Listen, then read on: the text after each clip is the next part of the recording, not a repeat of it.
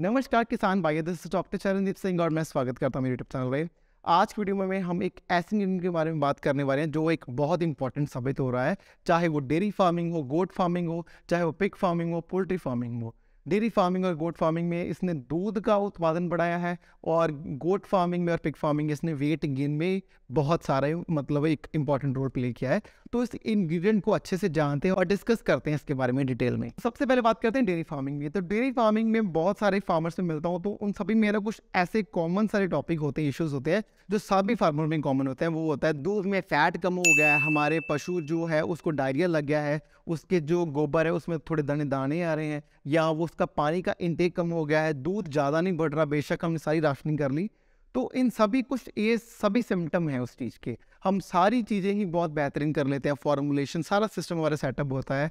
कोई दिक्कत की बात होती नहीं है। गर्मियों के सीज़न में खास करके हमारा मतलब फॉगर्स वगैरह फैंस वगैरह सभी होता है, क्योंकि एज़ कंपेयर टू गर्मियों में पशु को संभालना थोड़ा डिफ़िकल्ट होता है, लेकिन फिर भी कुछ कमी रह जाती है, जिसकी वजह से कुछ दिक्कतें आती हैं। तो इन सभी का ये कॉमन सा हल निकल जाता है, वो है हमारा बेकिंग सोडा या सोडियम बाइकार्बोनेट राइट इसकी क्या इंपॉर्टेंस है, वो डिटेल से डिस्कस करते हैं। ये बहुत सिंपल सा फंडा है। अगर आप इसको समझ गए तो मतलब सारी डेयरी फ़ार्मिंग को समझ गए राइट अब हम जानते हैं कि एक पशु के, जो एक जुगाली वाला पशु है है ना? जुगाली वाला पशु कौन कौन से हैं?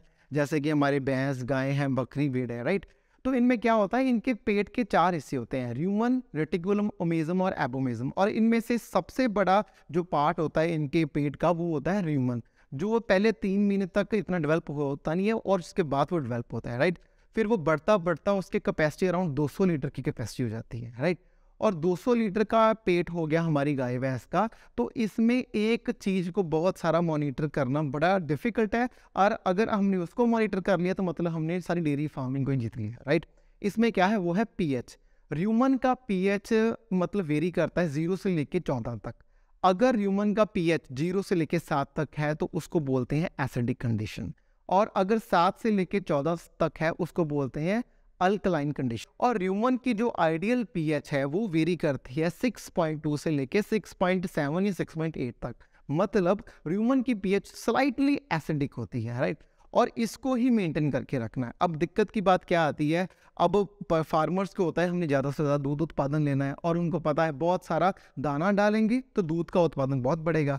अब दूध उत्पादन बढ़ाने के लिए वो क्या करते हैं? अनेक तरह के दाने खिलाना शुरू करते हैं पशु को, जो गलत नहीं है, खिलाने भी चाहिए। लेकिन वो क्या करते हैं? सिर्फ़ दाना ही दे जा रहे हैं। अब फ़ीड कंपनी भी इतनी आगे हैं, वो उनसे फ़ीड बाय करके पशु देते रहते हैं या खुद दाना बना के देते रहते हैं। जब हम दाना अकेला पशु को देंगे तो वो सारा दाना टूट के किसमें कन्वर्ट हो जाएगा? एसिडिटी में। तो क्या कंडीशन बन जाएगी? एसिडोसिस की कंडीशन बन जाएगी राइट तो इसकी मेन समस्या आ गई हमें कि हमारा पशु एसिडोसिस होगी मतलब उसकी पीएच हिल गई राइट और दूसरा कंडीशन आती है सियाल के सीज़न में। सियाल के सीज़न में हरे वाले पट्टे बहुत ज़्यादा होते हैं, जैसे कि राई, ग्रास, बरसीम, लूसन्स वगैरह। और जो हरे पट्टे ज़्यादा देते हैं पशु को तो उसमें, उनमें केस में क्या होता है कि बहुत सारा खारापन बढ़ जाता है। तो उस केस में क्या हो जाता है, ह्यूमन की पीएच सात से बढ़ के आठ, नौ तक हो जाती है, राइट? तो उसमें, उस केस में क्या हो गया? अल्क्रोसिस हो गया। तो ये दोनों कंडीशन ही सही नहीं है। वैसे तो जो नॉर्मली पशु की लार है, उसमें जो जो पीएच है, वो अराउंड 8.5 होता है। वो बहुत कोशिश करता है, पशु एक नेचुरल टेंडेंसी है कि पीएच को बैलेंस करके रखें। लेकिन जब हम ज़्यादा ही दाना दे देंगे तो मोस्टली कंडीशन फ़ील्ड में क्या देखी गई है? वो एसिडोसिस की कंडीशन देखी गई हैं राइट इसको बहुत सारे तरीके हैं। हम, कई बार ऐसा होता है कि वैसे सिम्टोमेटिकली देख के बता सकते हैं राइट या हम ये देख सकते हैं हिस्ट्री कौन सी है कि पशु को क्या खिला रहे हैं, उससे जज कर सकते हैं कि ये कंडीशन एसिडोसिस की है या ये कंडीशन अल्क्लोसिस है। तो उसी हिसाब से हम उसका ट्रीटमेंट देते हैं राइट इनका ट्रीटमेंट भी बहुत इजी है। अगर एसिडोसिस है तो हमें पता है कि सोडा वगैरह यूज़ करते हैं। अगर अल्कलॉसिस कंडीशन होगी तो हमें पता है सरका वगैरह यूज़ करते हैं।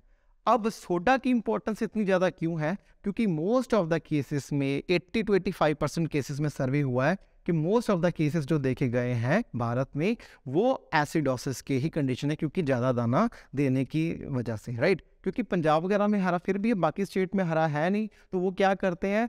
पशु का ड्राई मैटर पूरा करने के लिए सिर्फ़ दाना ही डालते हैं दाना डालते डालते क्या करते हैं? वो एसिडोसिस बना लेते हैं अपने पशु में। अब वही बात करें पिगरी की तो पिगरी में भी इसका खुद का ही अपना इंपॉर्टेंस है। पिगरी में भी क्या बात आ गया कि पिगरी में हम क्या करते हैं? ड्राई फ़ीड देते हैं।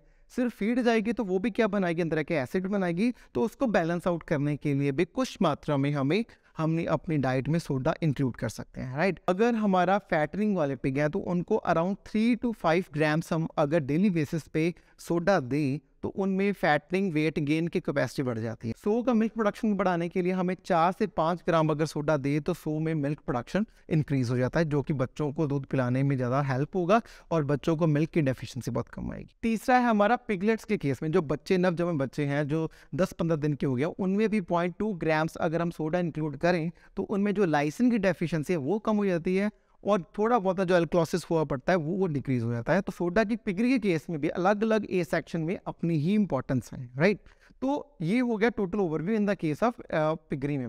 पिगरी में अगर वो भी है कि पिगरी में अगर हमें सिम्टम देखें कि अगर डायरिया आ रहा है राइट थोड़ा सा स्किन का टेक्सचर आता है तो उन केसेस में भी हम सोडा को इंक्लूड कर सकते हैं डाइट में। डेयरी की अगर बात करें तो डेयरी में पीएच अगर हिल गई तो बहुत सारी समस्या आएगी, जैसे सब क्लिनिकल मेस्टाइटिस आ जाएगी, ठीक है? फिर अगर पीएच हिल गया तो डायरिया वगैरह हो जाएगा, लूज, उनका, उसका गोबर लूज हो जाएगा राइट तो ये ऐसी ऐसी समस्याएँ जो सारी अल्टीमेटली डिपेंड करती है ह्यूमन की पीएच पे। अगर ब्रॉडली देखना हो तो किस किस केसेस में हम सोडा डाल सकते हैं? तो वो कुछ ऐसे केसेस है, अगर आप ज़्यादा साइलेज दे रहे हो पशु को, फाइबर कम है मतलब हरा चारा कम है तो या ज़्यादा दाना दे रहे हो पशु में, या अर्ली लैक्टेशन है मतलब नया नया दूध में ब्याज पे मतलब वही एनिमल तब या हीट स्ट्रेस है तो उस केस में आप अपने जो एनिमल्स हैं, उनको सोडा दे सकते हो। लेकिन सिर्फ़ ये याद रखना डेयरी एनिमल में अगर एनिमल के ड्राई पीरियड में आ गया, जो कि हम बोलते हैं forty five to sixty days prior to calving जब उसके बयान बयाने में चालीस से साठ दिन रह जाए तो उस केस में आपने सोडा बंद कर देना है। क्योंकि उस केस में हमने नेगेटिव अनाइनिक डाइट देनी होती है तो उस केस में कम्प्लीटली आप सोडा बंद कर दें, क्योंकि फिर डी कैट की प्रॉब्लम आ जाती है, जिसकी वजह से आगे जाके एनिमल को मिल्क फीवर वगैरह हो सकता है। तो 60 डेज़ प्रायर टू काल्विंग आपने अपने एनिमल को सोडा कम्प्लीटली बंद कर देना तो ये थी मेरी एक वीडियो जिसमें मैंने ट्राई किया कि सोडा की क्या इंपॉर्टेंस है, क्योंकि इसको बहुत ही पता सबको है, सबकी किचन में मौजूद है सोडा लेकिन इसकी इंपॉर्टेंस नहीं समझ पा रहे। अगर वो डालते भी हैं तो बहुत कम अमाउंट में डालते हैं। तो क्वांटिटी की अगर बात करो तो डेयरी एनिमल में 50 टू 100 ग्राम्स आप सोडा आराम से डाल सकते हो बिना कोई दिक्कत के। आप रिज़ल्ट आप देखना कितना बढ़ के आएगा। अब आ गया है गर्मी का मौसम तो हीट स्ट्रेस में जो सोडा की इंपॉर्टेंस है वो और बढ़ जाती है। सभी फार्मिंग्स में क्या है कि अगर हम सोडा थोड़ा थोड़ा डाइट में इंक्रीज करें तो एक तो हीट स्ट्रेस जो पशु को हीट लगे वो कम लगेगी और डाइट्री जो इनटेक है नॉर्मल पशु का ड्राई मैटर इनटेक कम हो जाता है गर्मियों के मौसम में, वो बढ़ जाएगा। तो आप सभी अपने अपने फार्मिंग्स में रिस्पेक्टिव फार्मिंग्स में सोडा का इंटेक ज़रूर बढ़ाएँ।